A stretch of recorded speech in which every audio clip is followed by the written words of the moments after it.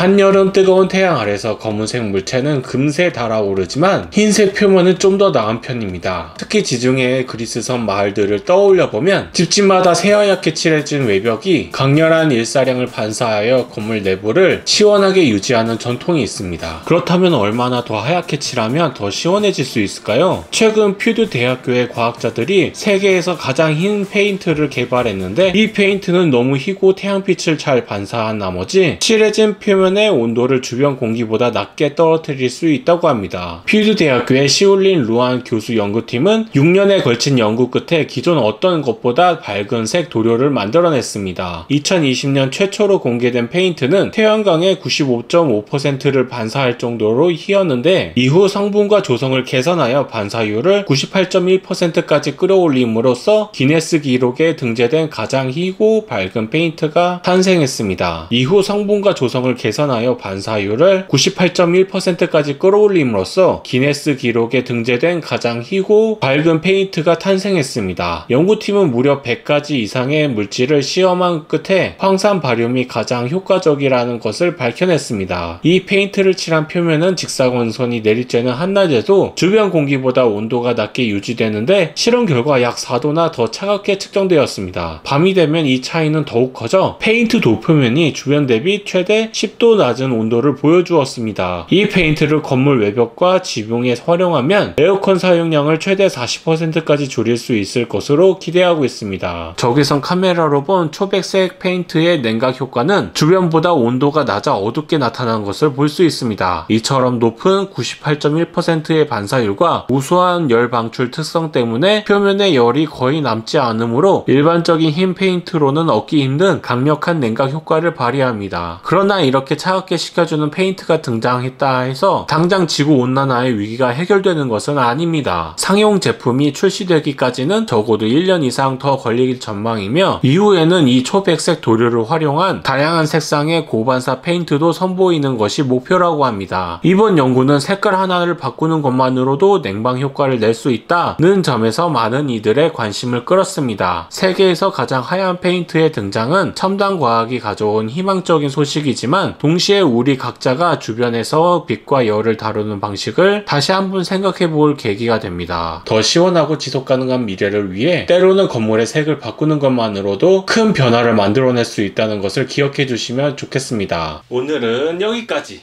이 이야기가 조금이라도 여러분에게 도움이 되었으면 합니다. 여러분의 구독과 좋아요는 영상을 만드는 원동력이 됩니다. 다음 영상으로 다시 만나겠습니다. 감사합니다.